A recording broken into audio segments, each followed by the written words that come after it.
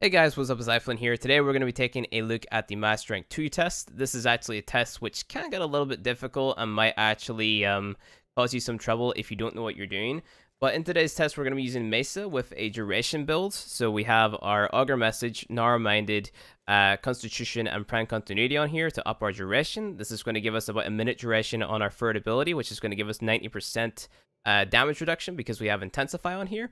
I combine Intensify with Power Drift to give myself more damage on my fourth ability. It, it speeds it up, or not speeds it up, but puts it up to a uh, two times multiplier in terms of my damage instead of just being a very simple 1.8 times. So I only had Intensify on, so having Power Drift on there definitely helps. Vitality for health, Prime for energy, and then we have Corrosive Projection on here to reduce the enemy's armor by 30% because the enemies in this mission do have armor. And then we move on to my Tigris Prime. Tigris Prime has a dual stat elemental mod build on here because you can actually get 100% status chance before multi-shot, which makes every single pellet that you shoot from this gun have a status effect applied to it. So because we have a predominant damage type of slash, it means that we're going to put out a lot of different slash uh, slash procs on the enemies, and it's going to basically be insane damage. Moving on to our Dual Toxocyst here. Dual Toxocyst is set up for Peacemaker, so we have Hornet Strike, Lethal Torrent, Barrel Fusion for our, you know, base damage. Then Prime Pistol Gambit, Prime Target Cracker for crit chance, crit damage. Convulsion and Pathogen Rounds for our corrosive damage, and then Anemic Agility to increase our DPS of our Peacemaker because more fire rate is better. Plus, we have the Frenzy buff from Dual Toxocyst, and plan we get a headshot, which will increase it even more. And then we have the Orthos Prime on here with a Maiming Strike build. You can use the build that I showed in the um, in the stealth videos, and you'll still do fine.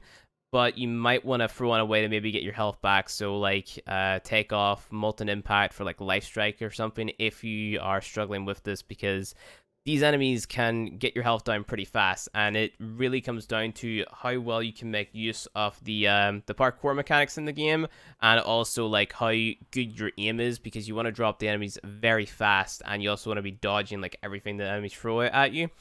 One thing I will stress to you guys is don't spend too much time in the middle of the map, especially at the start of each wave. So there's three waves to this, and these are going to be different enemies. So you're only going to see these enemies in arena missions on Sedna. And these guys are actually pretty difficult to take down. So don't spend too much time near the middle of the map at the start of every wave because if you do, all that's going to happen is you're going to get swarmed and you want to be paying attention and making sure that you're killing the actual enemies that count towards um, the kill count up there. So things like drones and rollers, they aren't going to count towards your kill count. So you want to stay away from them and you want to basically like avoid them or like put them out of their misery as fast as possible and just kill the guys that will actually count towards your kill count like these butchers or these big guys here the uh, the bombard looking guys so just rush to the enemies as soon as possible also make sure that you are picking up the energy and health drops that spawn around the map and uh, make sure that you're actually hitting your shots because like if you miss one shot it's the difference uh, between life and death honestly whenever it comes to this because the enemies deal so much damage so that should have been our 12th kill, but I think that guy just kind of disappeared and wanted to play big prank on us, but there's the first wave completed.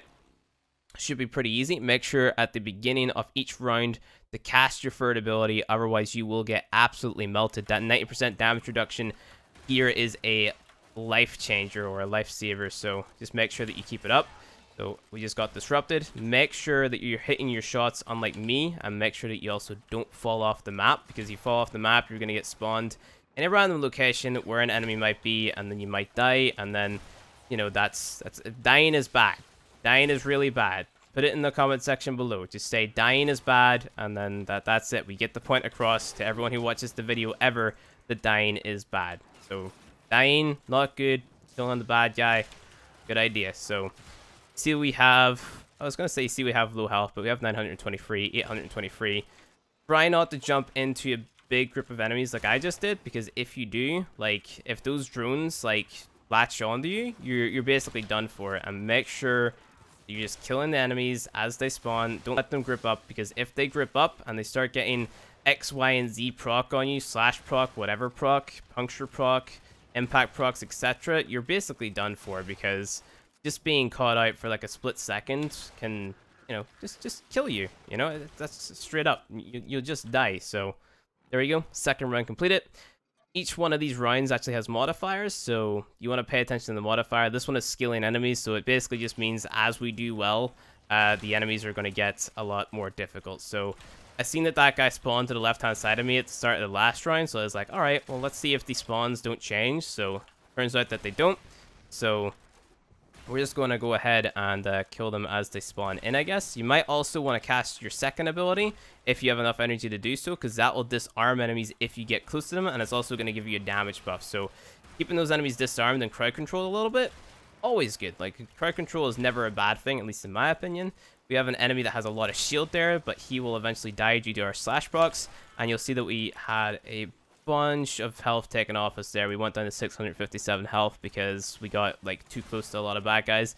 Somehow I got it back. Don't know how we're getting it back. I think it's because... Do I have Carrier on? No, I don't have Carrier on. Maybe we jumped towards the health pack and maybe we picked it up and got it. Or maybe it's because we're killing the enemies. Maybe killing enemies makes you get health back. I don't really know, but...